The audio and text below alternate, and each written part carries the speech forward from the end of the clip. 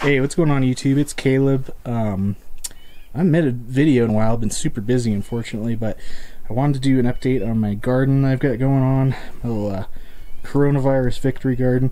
Really, I mean, it's just a garden like I did last year, but a little bit bigger. Um, just seemed like a good idea to maybe uh, grow some extra food. But so I've got the gardens in a couple portions. We actually added in some in-ground stuff over there that we'll go check out in a few. But uh, this is the patio part of it with my containers. One thing I was really not good at this year was labeling stuff. Um, I did get a bunch of onion sets that I'm just kind of experimenting with those. See how they come up uh, in containers versus in the ground. Um, one thing I will link down to below that were really nice and affordable are these felt pots. They're way lighter than like your traditional, you know, clay or even the plastic pots. Um, I think these ones are seven gallons. Then I've got some one gallon ones too. The one gallon ones probably a little too small for what I'm looking to do. But uh, yeah, got some onions there. I went big on my tomatoes. Um, so I got a bunch of varieties. Some of them from Tagawa Gardens. Uh, this is one of my black cherry tomatoes. Those are great when they start coming in. I really like those. So I got two of those this year. Um, a couple random squash plants. I'm not sure. With the squash and stuff, I'm really not sure exactly what I planted where, so I'm just gonna have to wait till they start fruiting to uh, to find out. But they're doing pretty good. That was a store-bought rosemary plant that's doing really nicely. Um, hoping maybe if I can get that big enough, I'll give it a permanent spot outside. More tomatoes and onions. This is a little uh, blend of kale from, uh, I think Botanical Interest makes that blend, but it's got green and that's uh, some red Russian kale there. These guys are kohlrabi, which I think I probably planted way too many of them. Kohlrabi um, makes kind of a big bulb that you kind of eat like a potato or a turnip, but you can eat the greens as well. Uh, this is garlic, a little bit of Thai basil in there, and I think this is a bean plant. It's kind of hanging on for dear life. I experimented with some of my tomato plants by putting wood chips in there. Um, I don't think the experiment worked out too well. This was actually, this pot was also growing like tatsoi, which is kind of like a Asian spinach, but for whatever reason, the two pots that I have the uh, the wood chips in, the tomatoes just seem to be yellowing out like that one. You can see he's not doing too good. So I don't know if it had to do with the wood chips or what, but I've tried to kind of remove those from that pot and seems like it's doing a little better than it was, but we'll see. I might have to troubleshoot that one. Uh, these tomatoes I'm actually really proud of because um, I grew these from seed and again, you know, wasn't smart enough to label, so they're going to be mysteries, but a couple pepper plants that I grew from seed. Jalapeno plant, I actually purchased that, but that one's been doing pretty good and it's producing a good amount of uh, jalapenos, so that's fun. And then, yep, there's that other uh, yellowish tomato plant. So, again, I'm not really sure what the diagnosis is on those, but I'm gonna try to uh, try to figure it out. But the rest of them seem to be doing really well. Um, again, like I said, it's a mix of stuff that I bought, like tomato starts. Like this guy was a start, but he's probably my most vigorous plant. And then um, these littler guys, they were from seed, but you know, I bought a um, like a little LED grow light, and that really made all the difference for seed starting. Um, so I highly recommend that unless you have a really sunny window. So that's the patio. Um, mostly tomatoes, a little bit of squash here and there. So I'm hoping to have a, a butt ton of tomatoes. And then this little bag of actually growing a, um, this is like a giant pumpkin. I forget what it's called. The Atlantic Giant. So he looks like he's doing pretty happy, but I might have to move him around anyway. And just got a little corn growing with them. So that's the, well, and then I guess I got these guys on the table. That's where I'm keeping most of my peppers. So this was tatsoi, but it went to seed, as you can see. So probably need to harvest these and just kind of be done with them. Some basil, some peas. So yeah, that's the patio part. So let's go. Uh, let's go check out the uh, the in-ground stuff.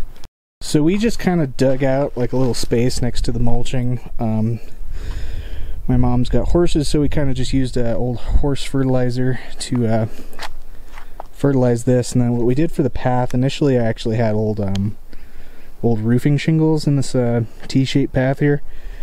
And um, that really helped compact the ground down, but I wasn't, you know, the chemicals in the shingles probably isn't great, so we just went and got some mulch and mulched that in. And that actually works pretty well because it kind of keeps um, keeps a lot of moisture in around here.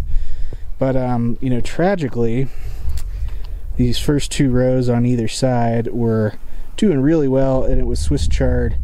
But some somebody, I believe a deer, managed to get in here last night. So what I did today was go get some uh, some uh, mountain lion urine and a couple other repellents for deer. But uh, you know live and learn.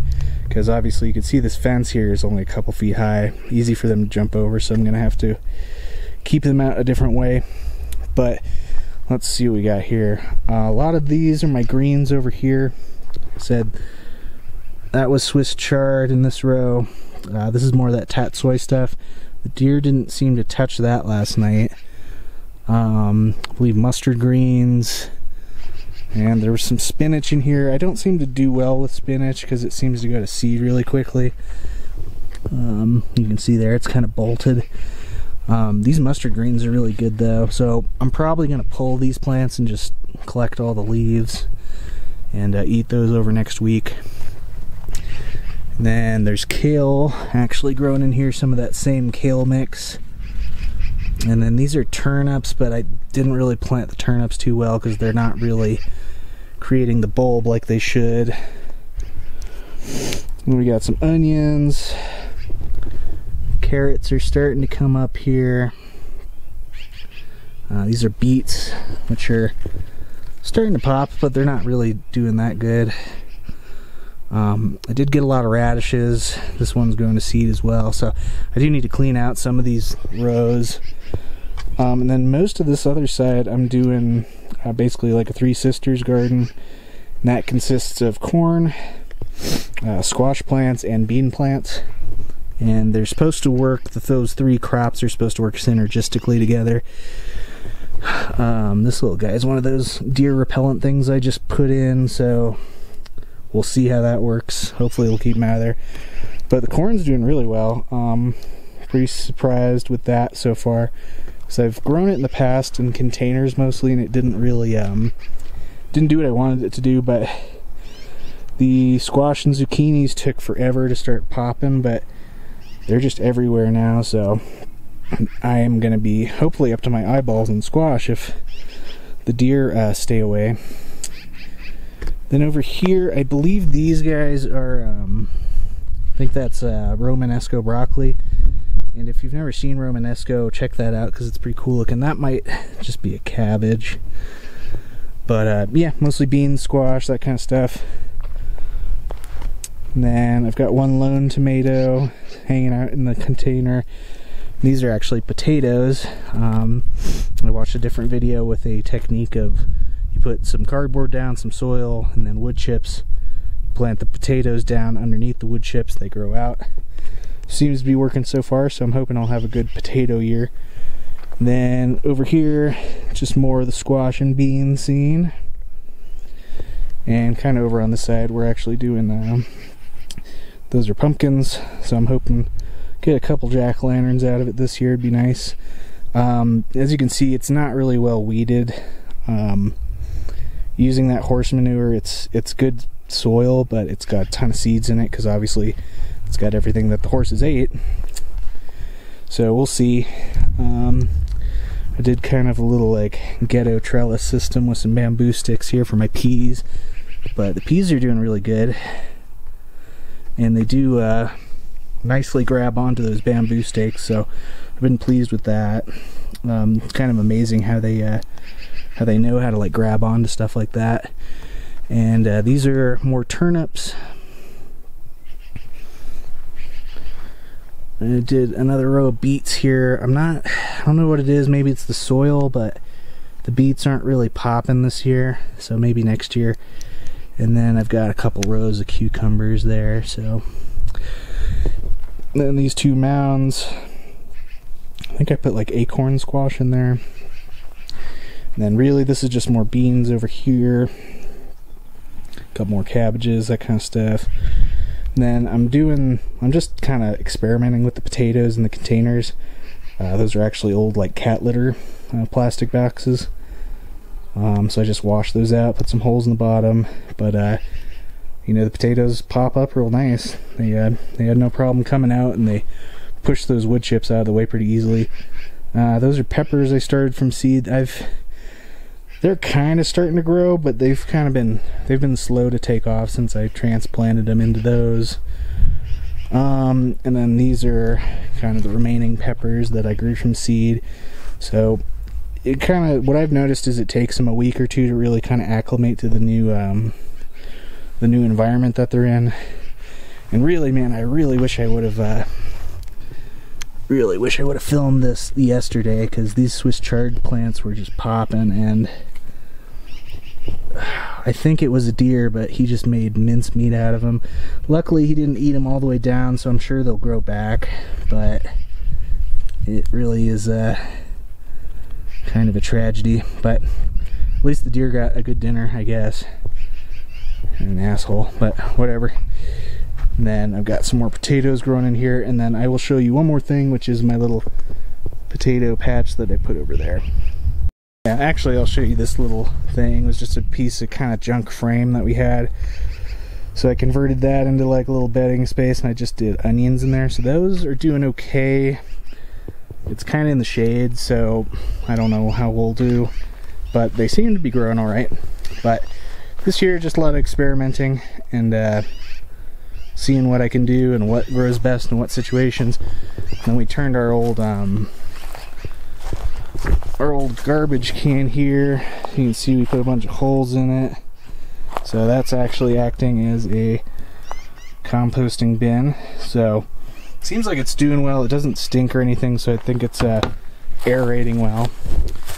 But um, this is what I learned off another gentleman, uh, Terran Lupo, off of his YouTube channel. Kind of like a lazy survival garden kind of thing. And so what you're looking at here is um, you know, I laid down cardboard underneath this that'll kind of help kill off the grass over the next year. And then a couple, did probably four inches of the uh, horse manure soil. And then probably another six to 10 inches of the wood chips. Um, so I put the soil down, then I planted my seed potatoes and waited. Um, actually, some of these I started inside, so they were already kind of maturing as plants before I put them in and some of them were just put in as potatoes. So the idea here, the wood chips are supposed to act like a um, kind of a sponge. So you don't need to water this very often, which is nice.